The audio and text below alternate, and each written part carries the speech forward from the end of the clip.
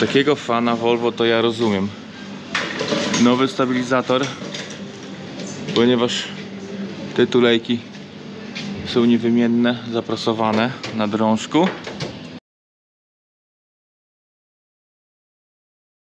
I nowe amortyzatory. Tylko 3000 zł sztuka. Nie wiem, czy jestem godzien je zakładać. Dobre, nowe amortyzatory są. I teraz tak, jak one są przymocowane? Tutaj jest jedna śruba. Tutaj jest druga śruba. Tutaj jest trzecia śruba. Ale jest jeszcze czwarta śruba. Już pokazuję gdzie. Czwarta śruba jest tutaj. I taką gąbeczką to jest zakryte. Tutaj i tutaj.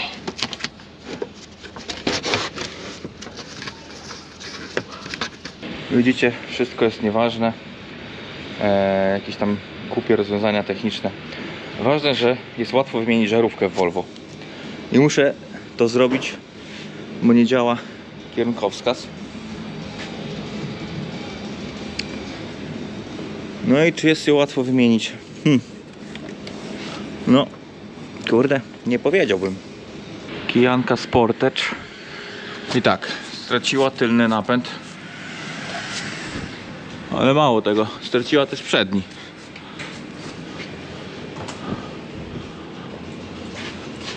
Czyli yy, wiadomo co jest zepsute. Nie wiem tylko czy nie trzeba będzie rozbierać skrzyni. A wystarczyło to tylko przesmarować co jakiś czas. A teraz będzie koszt. Jak myślę na oko yy, za 20 tysięcy złotych, żeby to naprawić. W przeliczeniu oczywiście, nie? Bo same części, yy, czyli ta skrzynka kątowa i te w środku zabieraki to jest jakieś, nie wiem, ze 20 tysięcy koron. No tak myślę, że za 20 tysięcy złotych by to kosztowało. Mam nadzieję, że nie trzeba będzie rozbierać skrzyni, no ale zaraz zobaczymy. Dobra, tak jak myślałem. Tutaj ten wielowypust obrobiony, zardzewiały.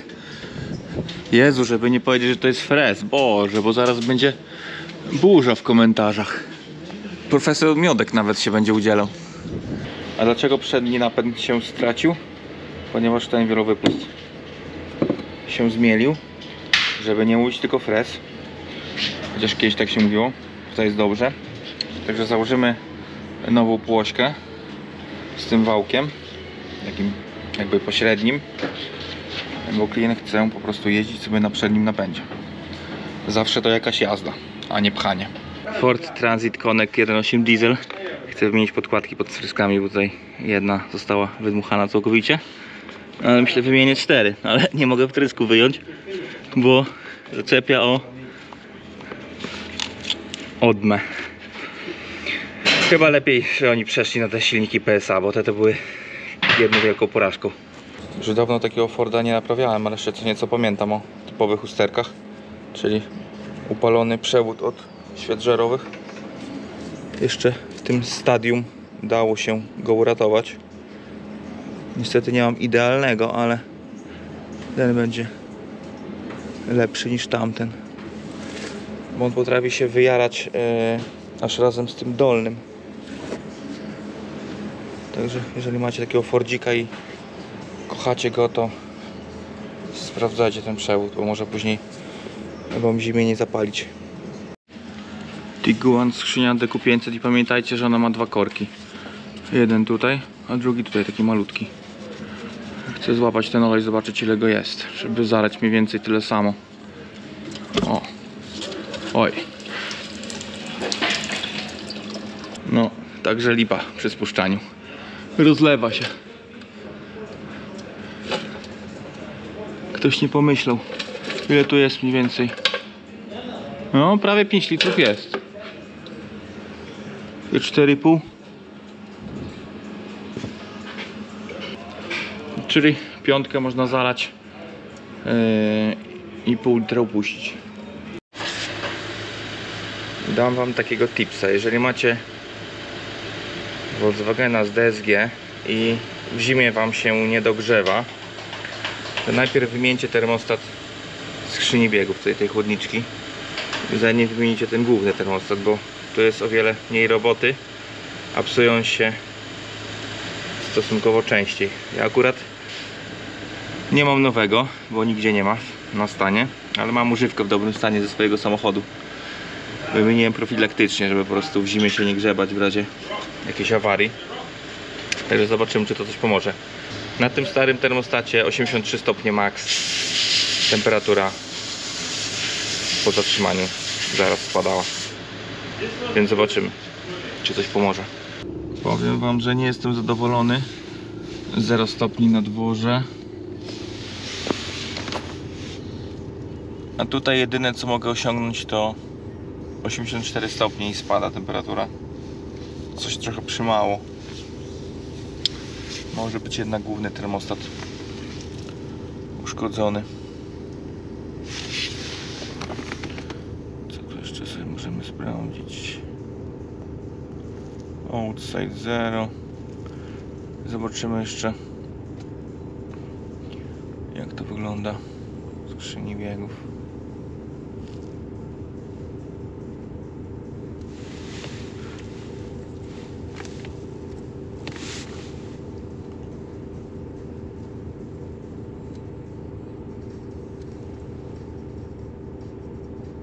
No tutaj też niziutko. A dlaczego w ogóle próbuję to naprawić? Ponieważ klientowi samochodzik się nie dogrzewa. Dzisiaj jest tam 0,1 stopień powiedzmy, ale było wcześniej tam minus tam 6 czy 7 to już w samochodzie robiło się zimno. Taka klasyka na warsztacie. I co wam pokażę? On ma tak zrobione progi na płasko. Tak jak Audi, coś podobnie. Yy, ogólnie to kurde ABS ma? A nie, to czujnik. Myślałem, że ABS ma. Bo one miały taki dwuobwodowy ABS w którymś tam roku, bo to jest ogólnie yy, wersja taka poliftowa. 83 rok pewnie. Drugi może. Wygląda w środku tak jak taki tapczan w starym domu u starych ludzi.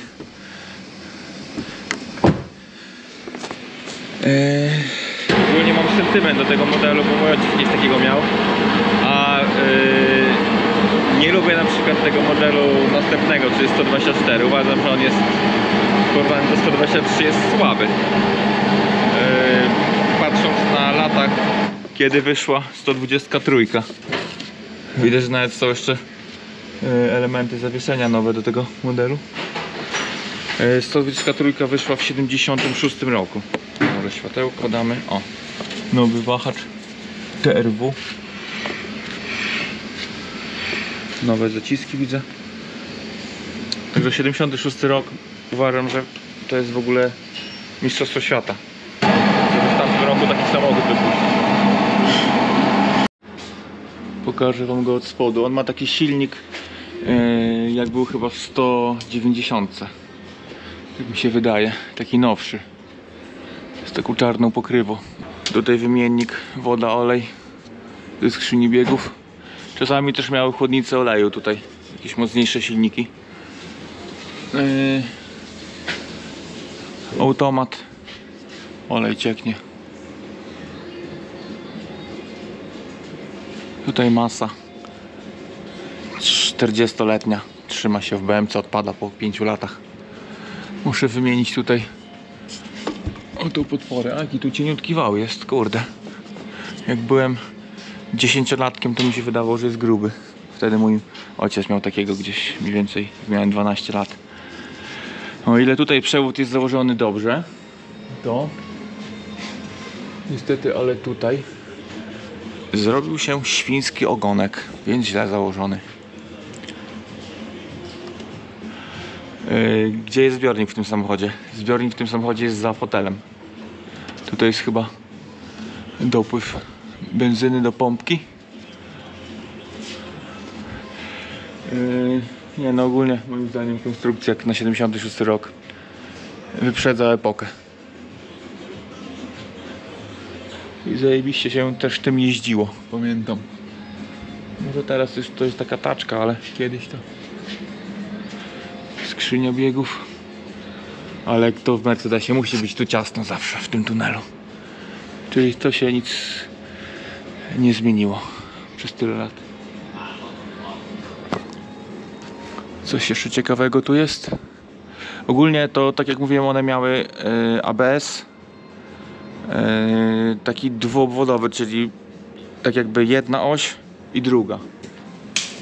Bo pamiętam, że czujnik ABS-u to był gdzieś tutaj chyba w dywsze. Ale to był pewnie jeden na kilka tysięcy, e, co miał ABS, więc tutaj obrotomierz to był w ogóle rarytas, że był w, e, w liczniku. Ale tu jak dziwnie zrobione do korka.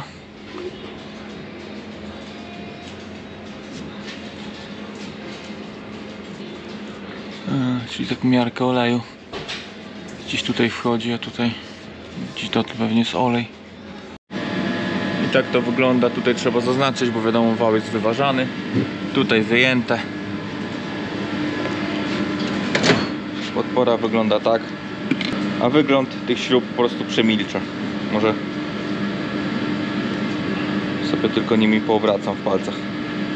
Słuchajcie, tak chciałem pochwalić Mercedesa, ale wprowadziłem opinię publiczną w błąd. Niestety te śruby są nieoryginalne, Febi. Aj, aj, aj, nie wyszło.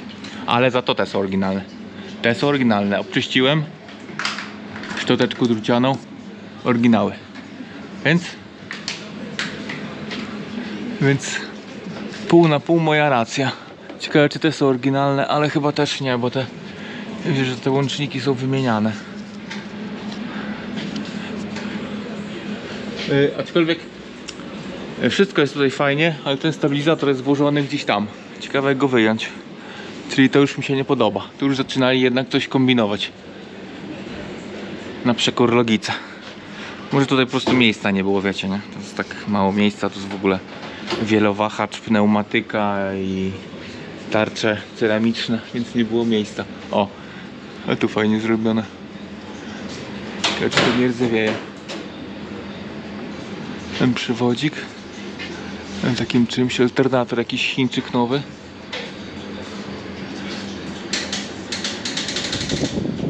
Paseczki.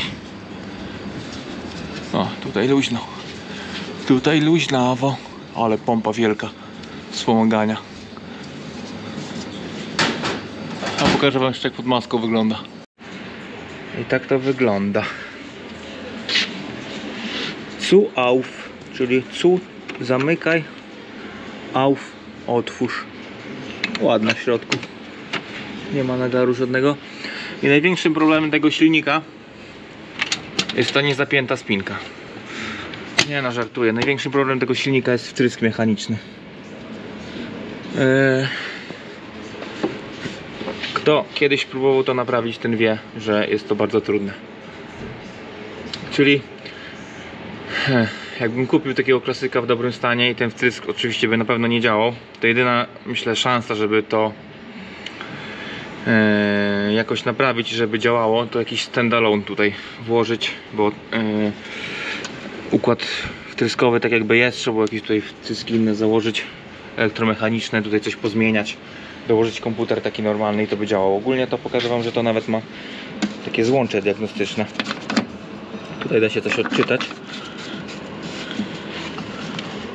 Mm, To, to co to jest? Nie wiem nawet. Coś do tego wtrysku.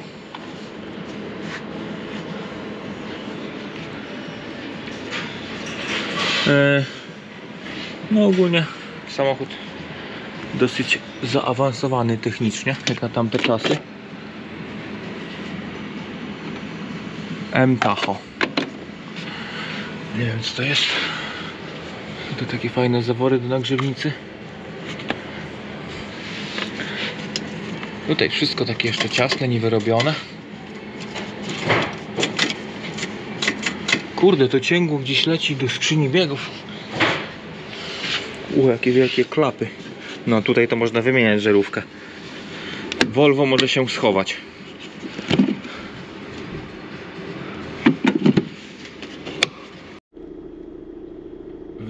termostat w Passacie. Na dworze jest minus 2,5. Temperatura 89.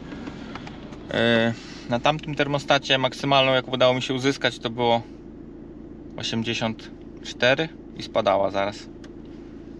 Także mimo, że ten termostat jest dosyć trudno wymienić i jest pewnie drogi też, bo jest całą budową. Także diagnoza słuszna. No niestety nie mam nowego termostatu od skrzyni biegów, bo nigdzie nie było. Nie dojechał, nie wiem, zgubił się czasoprzestrzeni, dlatego jest ten stary z mojego Tiguana bodajże. Także nie jestem zadowolony z tego. A ogólnie jeżeli macie DSG, to zawsze zaczynajcie od tego mniejszego termostatu. Tutaj wymieniłem, to powiem wam, że się nic nie zmieniło. Być może dwa są nie do końca dobre, albo po prostu ten stary też był dobry, no ale przez ten termostat od DSG może wam spadać temperatura silnika. On jest ogólnie dosyć tani, łatwy w wymianie, więc proponuję wam od niego zacząć. A najlepiej to wymienić dwa, wtedy problem z głowy. Takie Subaru coś wyje jakby łożysko, ale to nie łożysko. Zaraz wam pokażę co to jest, bo już znalazłem. Mianowicie amortyzator się rozpadł i sprężyna ociera oponę. A opony ma dobre, Goodyear. Bo Wczoraj przyjechał taki pan, który miał bardzo słabe opony. Słuchajcie, klient powiedział, że jeszcze dwa sezony chce latać na tych oponach. Ja mówię tak, no e, jakby tak przejeżdżał z 50 km rocznie, to jeszcze ze trzy by nawet polatały. No i co? Skordowane trochę jest. Ale jak to mówią fani e, Mazdy, że japońska blacha to jest e, karton pomalowany plakatówkami. Opony trochę wycięło, ale jeszcze po lata. Już kiedyś wam pokazywałem jak jest zrobiony tutaj dyfer. Dlaczego jest taki długi? Ponieważ tu jest jedno łożysko, tu jest drugie. Yy, te łożyska podpierają wałek atakujący.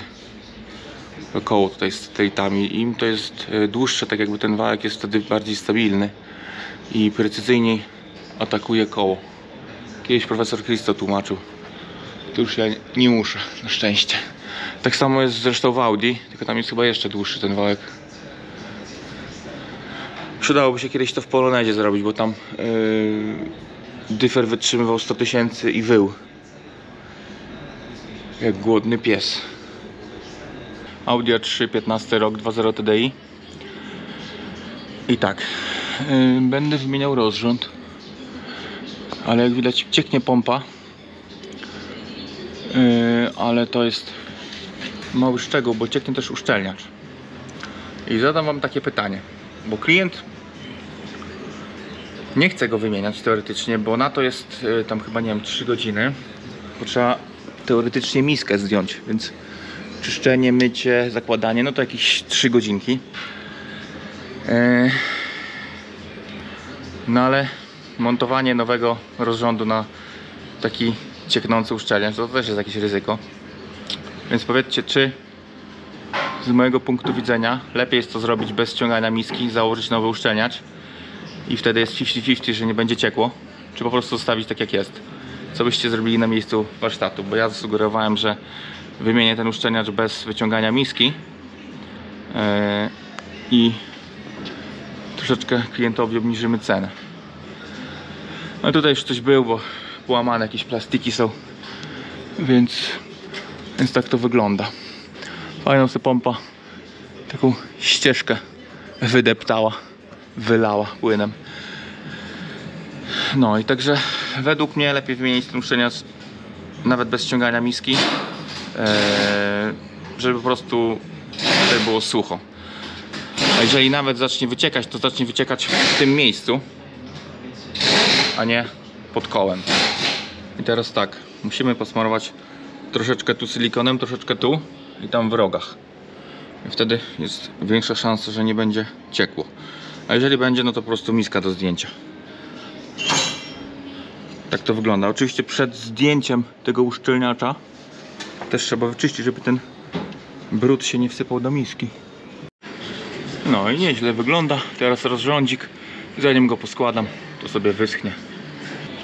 Pokażę wam jaka przygoda mnie spotkała. Czyli ktoś założył pompę bez przesłony, a zaworek był złamany. A tutaj przychodzi zestaw iny. O, może pokażę. Ina. Co dziwnego. Pasek jest dajko, bo jest włoski. I pompa przychodzi bez zaworka. Na szczęście mam taki stary zaworek, jakiś używany. I są tylko ringi.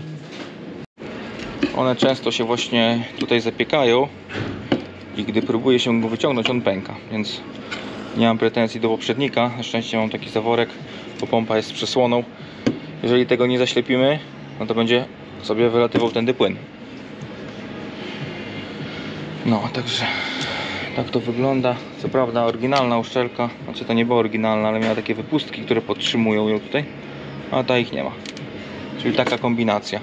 Mimo, że y, właścicielem inny jest y, koncern Continental, to paski montują Gatesa. Oj, sorry, nie Gatesa, tylko y, to jest Dajko białym zębem. Dobra, mam to poskładane prawie, że tutaj pasuje. Tutaj pasuje. Pasuje, pasuje. Teraz powiem Wam jak napełnić taki układ z pompą, która ma przesłonę, więc najpierw pod ciśnieniem wlewamy płyn. Następnie odpalamy silnik na odłączonej wtyczce. Wtedy ta przesłona się nie zamknie i układ się odpowietrzy. I to jest cała filozofia.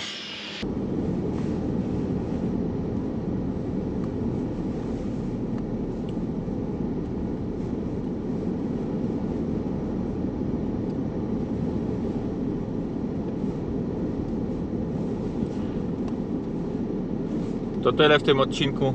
Pozdrawiam wszystkich i do następnego.